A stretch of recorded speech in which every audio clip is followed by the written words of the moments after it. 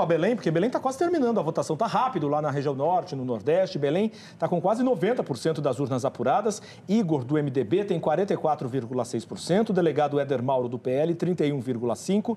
E o atual prefeito, como a gente falou, Edmilson Rodrigues, com quase 10%. Vai se encaminhando aí a eleição de Belém para uma disputa de segundo turno e a apuração deve terminar em instantes. Eu queria só voltar ainda à questão que o Oswaldo comentou, Vera e a própria Paula podem comentar. A verdade é que o Ricardo Nunes ficou com um pé envergonhado na canoa do bolsonarismo e o Bolsonaro ficou com um pé envergonhado na canoa do Ricardo Nunes, né? Uhum. E aí ficou uma situação uh, difícil de, de explicar para o eleitor.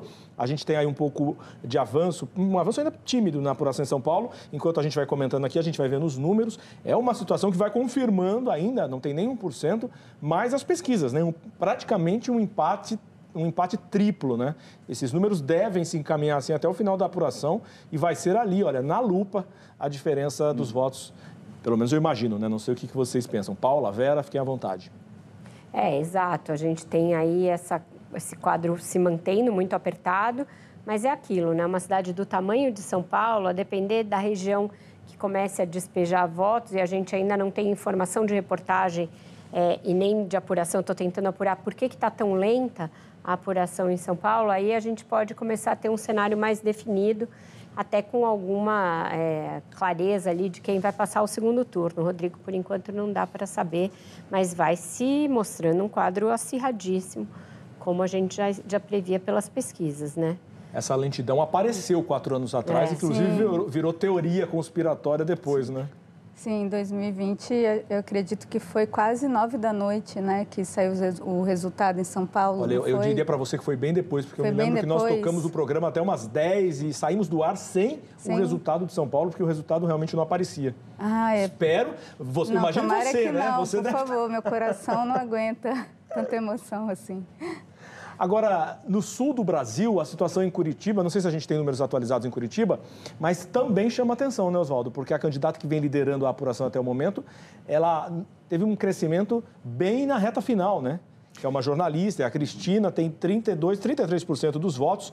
Agora o Eduardo Pimentel já, já quase numa situação de empate, né? Vai ter, provavelmente haverá segundo turno, uhum. mas uh, com uma surpresa a pontuação da Cristina, né?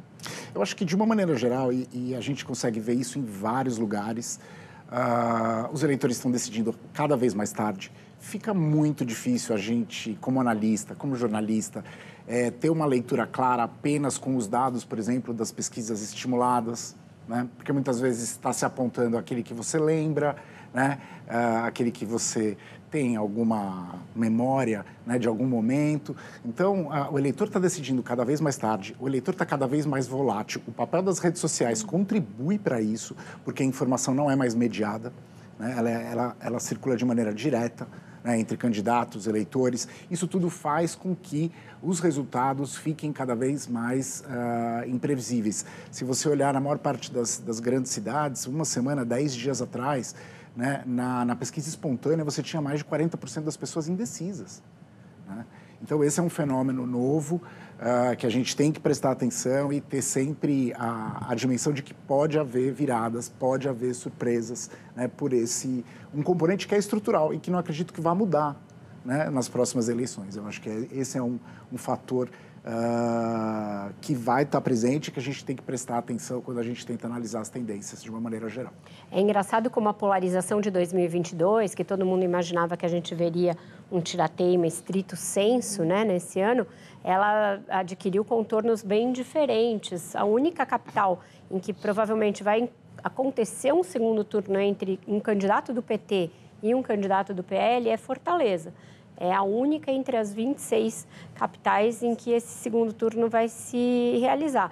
É, de resto, aqui, por exemplo, a gente tem o apoio do presidente Lula a um candidato do PSOL, algo que é inédito é, na capital paulista. A gente tem é, apoio do Lula a candidato, do PT a candidatos de outros partidos numa dose muito maior em capitais, Salvador, e, e acho que depois a gente vai poder fazer uma análise disso. Em Belém, o PT está com, com o PSOL também. Então, é, aquela, aquele tirateima da polarização, ele não vai poder ser lido é, com bases ali na mesma régua de 2022. Tanto a esquerda quanto a direita se multifacetaram uhum. nessa eleição, né? É, é, eu... Claro, por não, favor. É que no bloco... por favor, Paulo.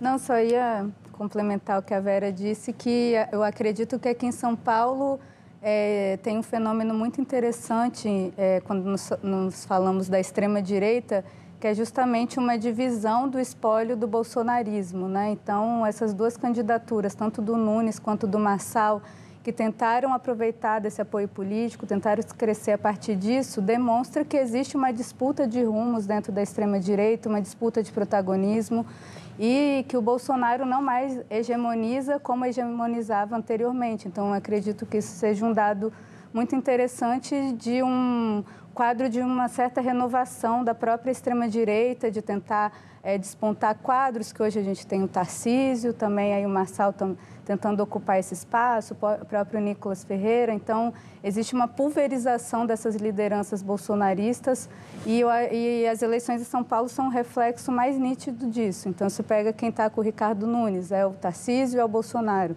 com o Marçal já declaradamente, o Salles, o Marcos Feliciano, que demonstram uma divisão e uma disputa de rumos desse projeto aí político da extrema direita no Brasil. Então, acho que esse é um ponto que deve ser observado.